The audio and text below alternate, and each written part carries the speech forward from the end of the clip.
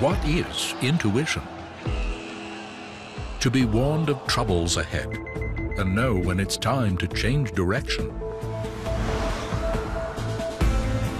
A sixth sense that moves you away from danger at just the right moment. Welcome to the era of intuitive driving. The all-new E-Class, a masterpiece of intelligence. Mercedes-Benz, the best or nothing.